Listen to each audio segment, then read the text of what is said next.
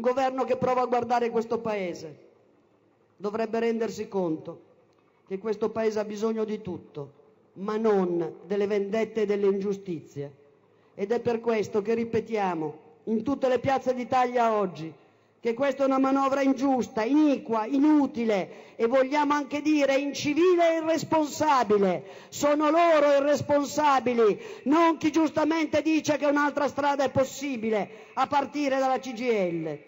Questa idea di approvare una manovra economica a tutti i costi, anche se è disastrosa per le fasce sociali più deboli, non ci sta bene.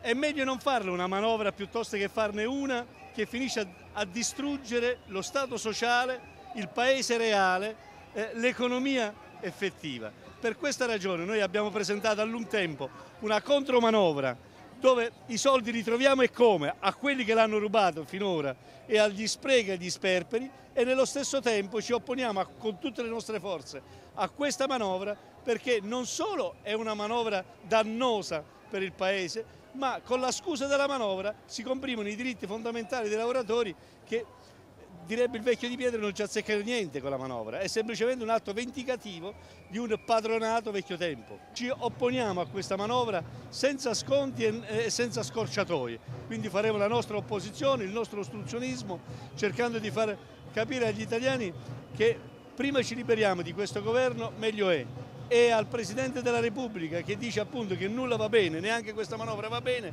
prendesse le dovute conseguenze, sciogliesse questo Parlamento. Una cosa è la manovra economica, altra cosa è andare a modificare l'articolo 18 dello Statuto dei lavoratori attraverso questo articolo 8 del decreto. Eh, non serve a niente ai fini della manovra, è soltanto un atto di vendicativo e in odio ai lavoratori che hanno voluto inserire in una normativa che con la scusa di doverla approvare in fretta e furia hanno compresso i diritti dei lavoratori. Questo ci sembra eh, un'azione antisindacale, sicuramente un'azione contro il mondo del lavoro e quindi noi partecipiamo a questa manifestazione proprio per eh, rivendicare dei diritti acquisiti che mi pare eh, un po' un controsenso dover tornare indietro. Le manifestazioni partecipano le persone, partecipano i cittadini, ce ne sono tanti di cittadini qui che con e senza tessera vengono a manifestare la loro rabbia e chi non c'è ha perso un'altra occasione, ma state pur certi che succede come succede anche qui e succederà anche qui come con i referendum. Quando vinceremo ci saranno tutti.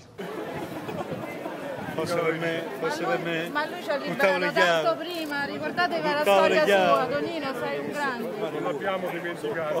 Se fosse per me butterei le chiavi. Se fosse per me butterei le chiavi. Esse.